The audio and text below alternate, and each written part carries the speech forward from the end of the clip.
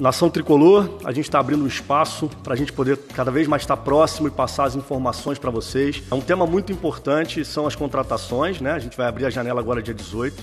O clube vem se movimentando há bastante tempo, a gente está aí há mais de dois meses discutindo é, nomes, discutindo o perfil de atleta que a gente vai buscar no mercado. Nossa intenção é trazer de quatro a seis jogadores, entendendo as lacunas que a gente entende que possam ajudar a qualificar o nosso elenco.